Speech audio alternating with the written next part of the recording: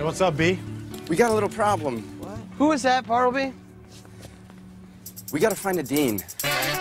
In life, it's important to distinguish between need and want.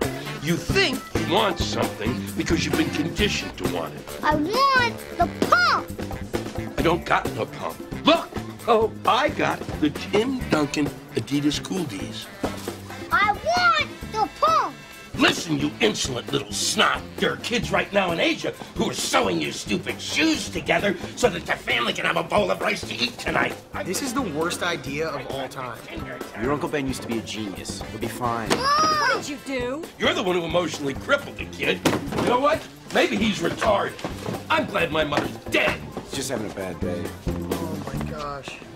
You want me to be the dean of your college? No, I want you to pretend to be the dean. It's just for one day. Uh, perhaps young Sherman didn't share this with you. I've retired. I'm no longer a shaper of young minds. Oh, really? Yeah, well, technically he was fired. That's not true. I got fed up with the education racket, so I quit.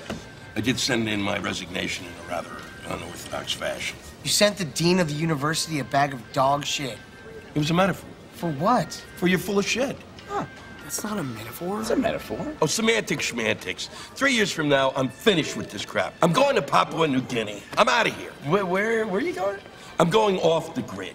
No more uh, franchises, no more Botox, no more, hey, oh, let's clone another goat, and certainly no more sexual harassment suits. What's wrong with saying, hey, nice tits? When did that go out the window? Okay, Ben, all I'm asking you is just shake a couple hands with some parents, say hi, I'm the dean, whatever.